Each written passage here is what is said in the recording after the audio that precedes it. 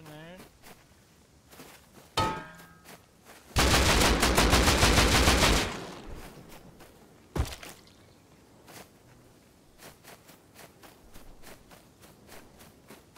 I'm gonna highlight it. It was nice shot, dude. Peace, nerd. Hit a K, dude. He must be so mad, dude. Imagine how mad he. Was like, I'm gonna get this guy, here's a crossbow. You